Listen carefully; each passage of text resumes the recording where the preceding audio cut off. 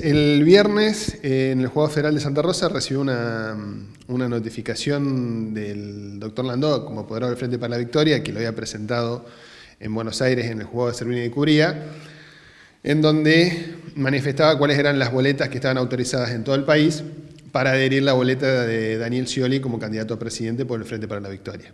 Era contrario a lo que ya había determinado la Cámara de Ciudad Electoral eh, la semana pasada cuando había ordenado que la lista de peronismo pampeano de la provincia de La Pampa lleve adherida la boleta de Daniel Scioli.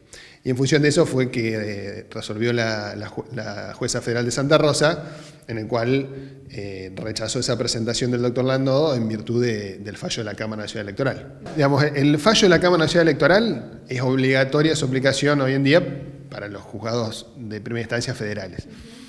El único órgano jurisdiccional que puede revertir ese fallo de la Cámara es la Corte eh, Suprema de Justicia de la Nación. Eh, la semana pasada, la apoderada del Frente para la Victoria presentó un recurso extraordinario federal para eh, que se lo eleve a la Corte. La Cámara todavía no se lo concedió, primero se lo tiene que conceder y después elevarlo a la Corte. Las elecciones son el 9 de agosto. Mi opinión personal es que por los plazos procesales no va a llegar a resolverse nada antes del 9 de agosto.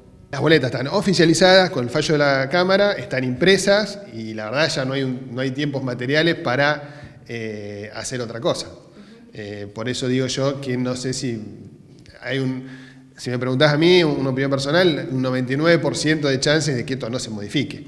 Hablando recién con, con el diputado Di Napoli, él nos decía que en realidad es la voz del, del precandidato a presidente el que está diciendo no quiero ir con esta lista, quiero ir con esta otra. Fueron ellos mismos los que establecieron cuáles eran las reglas de juego. Las reglas de juego eran, todos aquellos que quieran competir dentro del Frente para la Victoria de La Pampa deben llevar adheridas la boleta de candidatos a presidente. Y eso es lo que en definitiva la Cámara resolvió. Es decir, la Cámara no resolvió porque se le ocurrió, resolvió en función de lo que había en un expediente donde había un, acta misma del Frente para la Victoria que decía que deberían llevar adheridas las boletas de, candidato a presidente. Si vos me decís cuál es la voluntad de uno y de otro, y en algún momento la voluntad fue que lo llevaran. Ahora dicen que no, pero lo que está escrito, y es una realidad, es que cuando se conformó el Frente para la Victoria dijeron todas las boletas que compitan internamente van a llevar adheridas las de los candidatos a presidente.